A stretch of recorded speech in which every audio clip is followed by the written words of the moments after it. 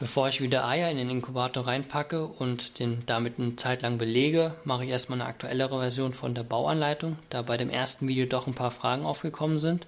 Ich benutze zwar als Inkubator, benutze ich zwar eine Styroporbox, aber das heißt noch lange nicht, dass ihr auch eine Styroporbox benutzen müsst. Ihr könnt vom, von der Kommode bis zum Kühlschrank könnt ihr alles benutzen, was ihr wollt.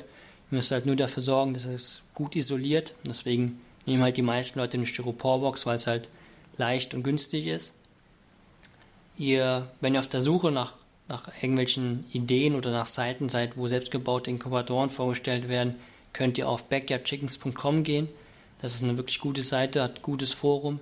Bevor ihr also den Inkubator baut, solltet ihr da auf jeden Fall mal vorbeischauen und euch ein paar Ideen holen. Ähm, fangen wir mal an mit den Sachen, die ich benutzt habe für den Inkubator. Meine Styroporbox hat die Maße 61 auf 46 und auf 32 cm Höhe. Ich habe zwei Pringles-Packungen als Fenster benutzt. Das Universal Thermostat UT200 von Konrad. Ein E27er Glühbirne mit 40 Watt. Eine E27er Lampenfassung mit Stromkabel. Ein Netzkabel mit Netzstecker. Eine Lüsterklemme. Ein 12 Volt Ladegerät. Das könnt ihr von einem alten Handy zum Beispiel nehmen. Das müsste einen Output von 1000 mA haben zwei PC-Lüfter mit 0,14 Ampere. Meine haben einen Durchmesser von 8 cm, vier Schrauben und Muttern für die Lüfter, zwei Plastikbecher, 0,2 Milliliter für die Luftfeuchtigkeit, ein Gefrierschrankgitter, um die Eier drauf abzulegen, ein Stück Volierendraht, um zu verhindern, dass die geschlüpften Küken dann auf die Seite von der Lampe kommen, ein Thermometer und ein Hygrometer. Als Werkzeuge braucht ihr nur einen Schraubendreher, ein Messer und einen Seitenschneider. Und für die Verkabelung könnt ihr entweder einen Lötkolben benutzen oder einfach nur Isolierband. Kommen wir zur Bauanleitung. Ihr macht zuerst zwei Löcher in eine Seite der Box, einmal eine für die Lampe und einmal eine für die Kabel. In das untere Loch steckt ihr die Lampenfassung und in das obere Loch kommen die Kabel, der Lüfter und des Thermostats. Um die Lüfterkabel überhaupt durchs Loch zu bekommen, müsst ihr erstmal die Widerhaken eindrücken und sie dann aus der Box nehmen. Dafür nehmt ihr am besten einen Schraubenzieher. Sobald ihr die Widerhaken eingedrückt habt und das Kabel durchs Loch gesteckt habt, könnt ihr die Widerhaken auch schon wieder nach draußen biegen. Ihr nehmt dann nur noch die vier Schrauben und befestigt die Lüfter dann in den beiden Ecken auf der Seite der Lampe. Es müsste dann ungefähr so aussehen. Und der nächste Schritt ist dann auch schon die Verkabelung des Lüfters. Als rechtlicher Hinweis: Der Nachbau erfolgt komplett auf eigene Gefahr. Für Schäden, die während oder als Folge des Nachbaus oder des Betriebs entstehen, übernehme ich keinerlei Haftung. Ich übernehme keine Haftung für eventuelle Sach- oder Personenschäden sowie für die Richtigkeit der Anleitung, die ich hier gebe.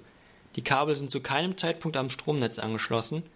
Und wenn ihr wirklich mangelnde Fachkenntnisse habt, solltet ihr lieber die Finger davon lassen. Ihr könnt das Haus abfackeln oder zu Tode kommen, wenn ihr hier irgendwelche Fehler macht. Also, wenn ihr wirklich unsicher seid, lasst die Finger davon. Bei den Lüfterkabeln gibt es zwei unterschiedliche Seiten, und zwar links die Female und rechts die Male-Seite. Das gleiche auch bei den Boxen, links Female, rechts Male. Zur Verkabelung, ihr habt einmal auf der linken Seite die Male und einmal auf der rechten Seite die Female-Stecker. Ihr verbindet im Grunde nur Gelb mit Gelb und Schwarz mit Schwarz. Aus Sicherheitsgründen macht man das Ganze noch in die Box rein.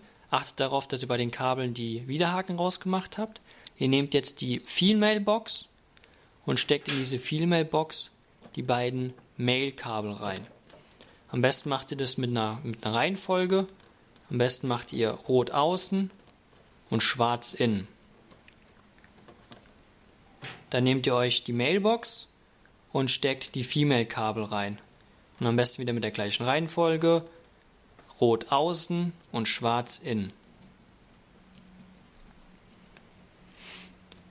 Ihr steckt dann beides nur noch zusammen und habt dann auf der rechten Seite zweimal Male und auf der linken Seite zweimal Female übrig.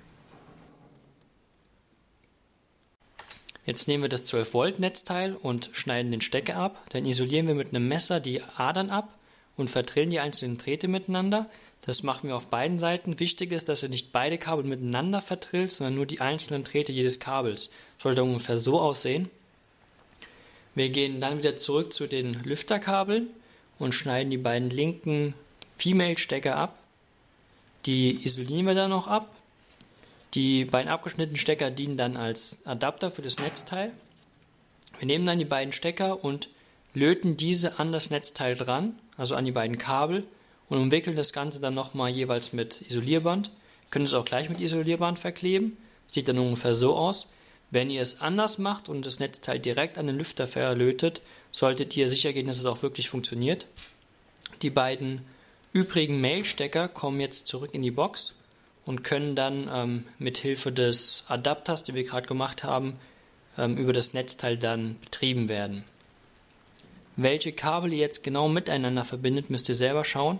Auf dem Netzteilkabel sind Striche und das kennzeichnet das negative Kabel und das müsste eigentlich an das schwarze Kabel des Lüfters. Bei mir ist es aber das rote. Also müsst ihr dann selber schauen, welches Kabel bei euch richtig ist. Die Lüfter dienen zur gleichmäßigen Verteilung der warmen Luft im Inkubator. Das könnt ihr euch so wie im Backofen vorstellen, die Umluft. Brauchen tut ihr die Lüfter eigentlich nicht. Die Eier müssen aber ohne Lüfter dann öfters untereinander getauscht werden, da sonst die vorderen Eier mehr Wärme abbekommen als die hinteren. Ohne Lüfter wäre der Inkubator ein Flächenbrüter, mit Lüfter ist es ein Motorbrüter. Kommen wir zur Verkabelung der Lampe. Wenn ihr an das Innere eurer Lampenfassung kommt, könnt ihr das Netzkabel direkt an die Fassung schrauben. Da das aber bei mir nicht möglich ist, muss ich mit Hilfe der Lüsterklemme beide Kabel miteinander verbinden. Das Ganze funktioniert wieder nach Farben sortiert. Man verbindet Blau mit Blau und Braun mit Braun.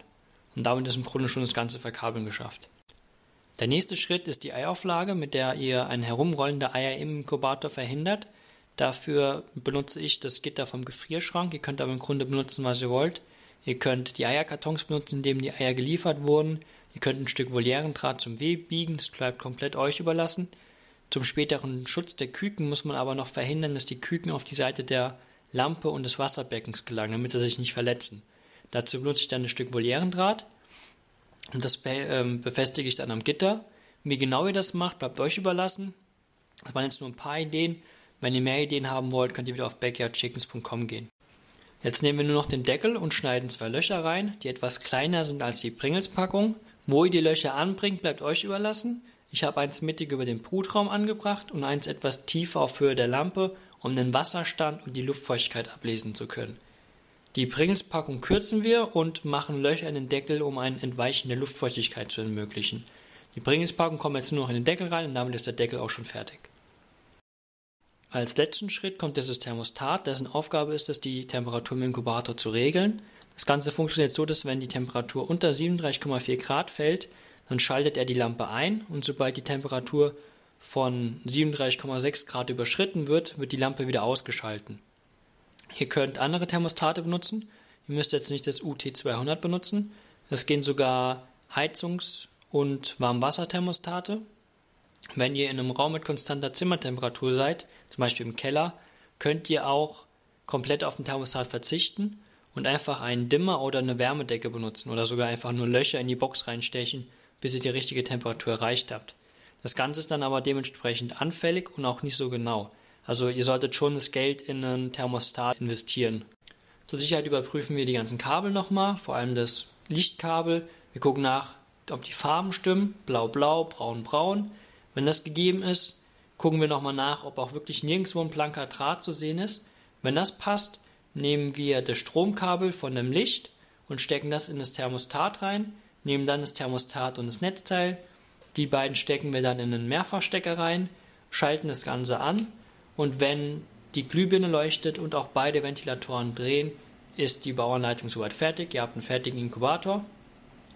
Der nächste Schritt ist jetzt einen Probetag zu machen indem wir versuchen, eine konstante Temperatur von 37,6 Grad hinzubekommen und eine konstante Luftfeuchtigkeit von ungefähr 60 Prozent. Wenn wir die Luftfeuchtigkeit von 60 Prozent hinbekommen haben über eine längere Zeit, probieren wir die Luftfeuchtigkeit auf 80 Prozent zu erhöhen. Wenn wir das auch hingekriegt haben und es auch konstant läuft, können wir auch schon die Bruteier bestellen. Vielen Dank fürs Zuschauen. Wenn ihr irgendwelche Fragen habt, könnt ihr sie unten in die Kommentare schreiben. Wenn ihr immer auf den aktuellen Stand meiner Videos sein wollt, könnt ihr unten links meine Videos abonnieren. Auf der linken Seite habt ihr auch noch das nächste und vorherige Video dieser Reihe. Und auf der rechten Seite habt ihr Playlist über die Kükenaufzucht, die Aquaponik, die Kunstbrut und die Wachtelhaltung.